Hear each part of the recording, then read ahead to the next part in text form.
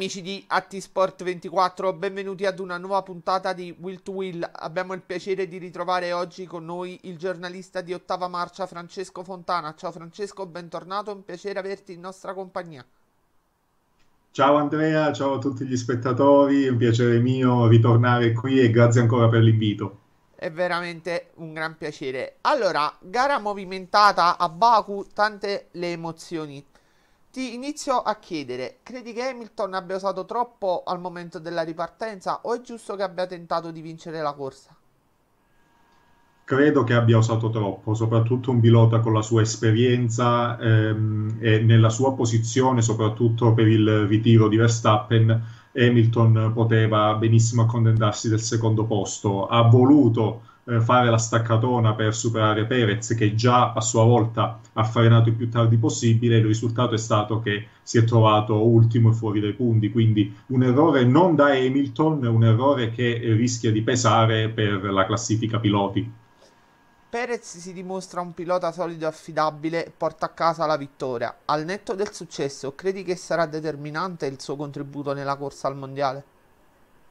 Assolutamente sì, eh, avevo già detto in passato che la presenza di un secondo pilota Red Bull forte potesse essere una delle migliori armi per mettere in difficoltà Hamilton e eh, oggi la, la, prestazione di Perez è stata assolutamente superlativa e se dovesse riuscire a replicare queste prestazioni nelle prossime gare, anche nel diversificare le strategie sarà un'ottima arma per mettere in difficoltà Hamilton. Bottas invece non ha praticamente detto la sua in nessuna gara fino ad ora e si è arreso all'idea che non, si, si, è probabilmente arreso all'idea che non gli verrà rinnovato il contratto. Eh, Bottas è in grandissima difficoltà, è, è dietro a Leclerc nella classifica piloti e le sue gare, insomma, a parte a Monaco dove aveva tirato fuori una grande qualifica, eh, le sue gare sono spesso anonime ehm, sì, Bottas è in grande difficoltà, probabilmente c'è anche una grossa componente psicologica dovuta alla, alla consapevolezza appunto che l'avventura in Mercedes eh, volge al termine.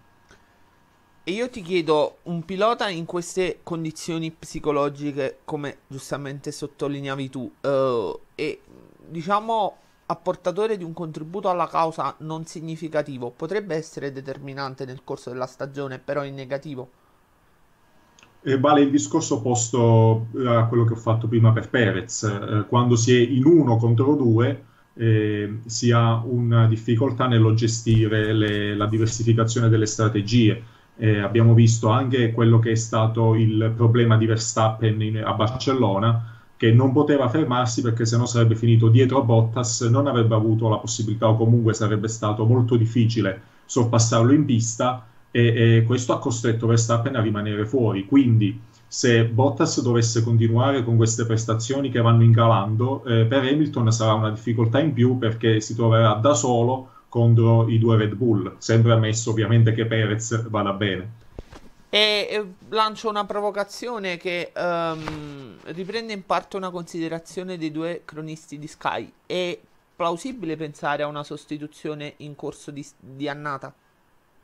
Eh, guarda, ti confesso che io l'ho pensato nello stesso momento poi in cui ne hanno parlato i cronisti di Sky, eh, perché insomma le voci su Russell si fanno sempre più insistenti, però ehm, anche insomma un po' conoscendo come hanno ragionato sempre in Mercedes fino ad ora, poi il futuro non lo conosce nessuno, però credo che si vada fino a fine anno con Bottas, che eh, insomma anche a Monte Carlo ha fatto vedere che la zampata riesce comunque a piazzarla, si, si, cercherà probabilmente di recuperarlo, tra virgolette, dal punto di vista psicologico e di sfruttarlo nelle piste magari a lui più congeniali.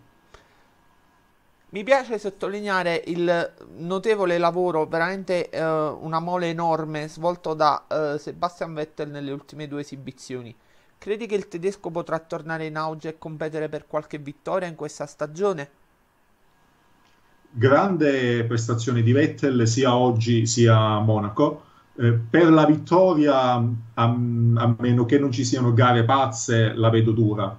Però eh, questo podio è un podio che dà grandissima fiducia. Poi Vettel ha dei punti di forza che, nonostante questi anni difficili, non ha perso. E fra questi c'è la gestione delle gomme. In una gara come quella di oggi, dove la gestione delle gomme è determinante, Vettel può dire la sua e puntare quantomeno al podio. Quindi, a meno che non ci sia un'altra, chissà, se ci sia un'altra gara pazza, mm, perché no? Se devi andare a individuare il tuo ideale podio di giornata, chi sono i migliori tre per quanto visto durante la corsa? Quali piloti vai a scegliere?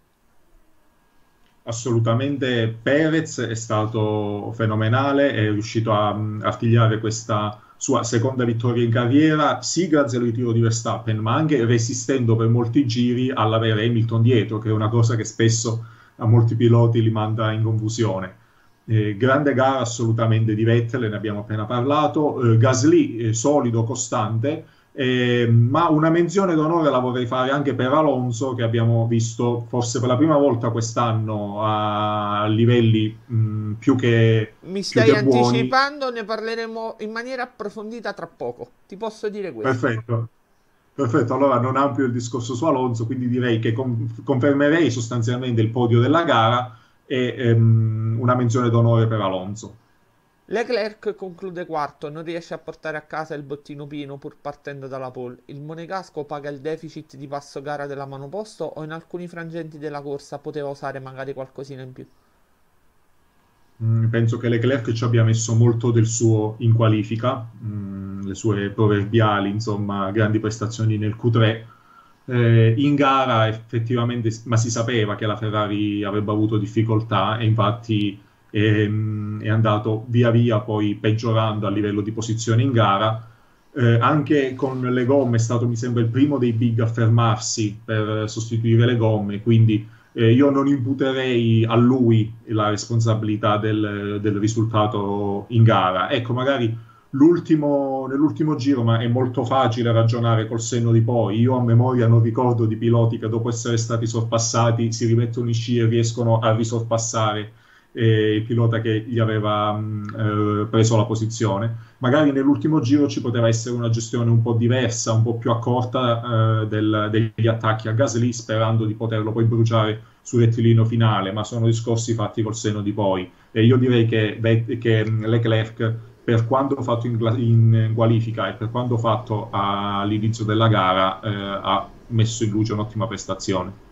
Chiudiamo la nostra chiacchierata con l'ultima domanda e ti voglio uh, fare analizzare proprio la prova di Alonso a cui tu accennavi prima. Il pilota spagnolo in grande spolvero conclude sesto dopo aver messo a segno una ripartenza degna di un due volte campione del mondo. Una volta risolti i problemi di affidabilità della sua vettura, uh, fin dove può spingersi l'Alpine quest'anno? Eh, come detto prima, insomma, Alonso, grande, grande prestazione, grande gara, forse la, il primo uh, grande Alonso che vediamo dall'inizio dell'anno, dopo, dopo, la parte della prima gara in Bahrain, poi ha un po' faticato.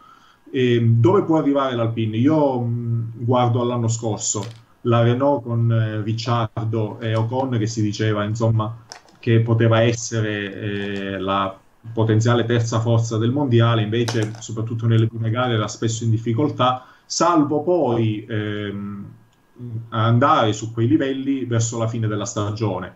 Quindi ehm, se la, l'Alpine adesso dovesse ripetere il percorso fatto dalla Renault l'anno scorso con un cospicuo miglioramento a stagione in corso, allora è possibile che in una delle gare probabilmente di fine stagione, con anche la complicità di qualche ritiro, di qualche situazione particolare, Alonso possa anche artigliare il podio come ha fatto Ricciardo l'anno scorso. Va bene, siamo giunti al termine della nostra chiacchierata. Ringrazio Francesco Fontana per essere stato insieme a noi. Do appuntamento ai nostri spettatori per la prossima puntata. Ciao Francesco, grazie mille. Ciao Andrea, ringrazio tutti gli spettatori, ringrazio nuovamente te per l'invito. Ciao a ciao, tutti. Ciao Francesco.